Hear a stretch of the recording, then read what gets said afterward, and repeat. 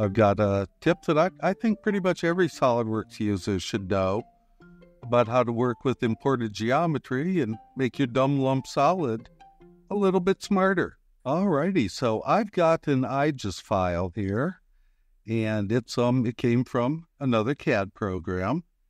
And I'm gonna go ahead and open it up. And again, once once we get it open here, you'll see that you know I've just got um, a single feature here. It's an imported feature. I'm not going to run import diagnosis just yet because I see that it's been brought in using 3D Interconnect, which is great if I'm going to just be using the model as is. If I need to make some changes to it. So I'm going to right click. I'm going to break the link here. And yes, I'm going to go down that road. I know it can't be undone. No fears, no fears at all. And so now I've just got this single imported feature. It's it's a big dumb lump as we call it. And as you can see, you know, it's got fillets, it's got holes, it's got cuts, it's got extrudes. But none of that is accessible to me. So again, I'm going to run those import diagnostics because it came in from another CAD program, which isn't SolidWorks. So again, we know maybe we're not getting the, the best data. And it found some problems, but SolidWorks is smart enough to go ahead and fix all of them there. So now we've got something we can work with. Okay, so the first thing I need to do is I want to change the radius of this fillet that runs all the way around the perimeter. And I know what you're thinking. Eric, how are you going to do that? There's no fillet feature there yet. So I'm going to go ahead and just pick one of those faces. I'm going to select Edit Feature. I know what you're thinking. There's no feature there, Eric. That's doing some thinking. And I'll pose the, the question What were you just saying a moment ago? There's a feature there.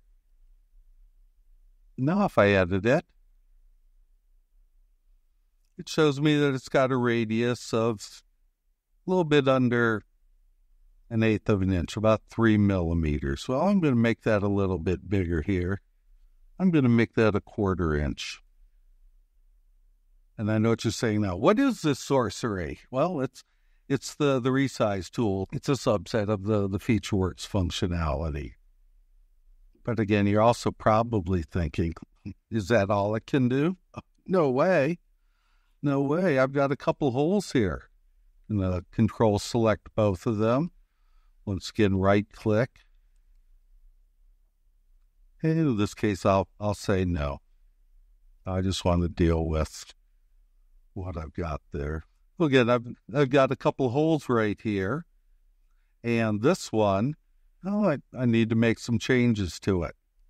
So again, I'm just going to right click, select it, edit the feature. And it's doing some thinking. Notice it, it's doing some sketching real quick there. Again, my hands are nowhere near the keyboard. And now I've got a hole feature there. But what's great about this is, again, I can edit that whole feature now I can say, well, you know, gosh, maybe that should actually be a counterbore hole. And maybe it should be a counterbore hole for a, you know, a, a button head screw. And maybe it should be a little bit bigger. Well, maybe maybe for a, for a half inch one. Oh, maybe that's that's a bit excessive there. maybe we'll go with, you know, five sixteenths. Well, again, lucky there, lucky there.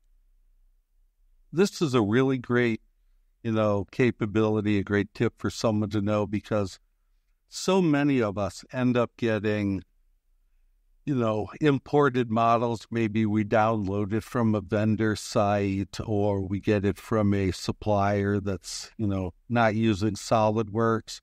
And perhaps we might need to do some modifications on it. Um, if if I didn't have this capability, I, I might have to do a whole lot of additional work to change aspects of the model that, yeah, they'll they'll meet my needs, but the fact that I can I can create features, especially something like if I if I had edited both of these holes and turned them into hole feature, I'd be able to use them downstream in an assembly to create a component, a feature driven pattern, rather than sitting there and mating each component, each fastener into them one by one.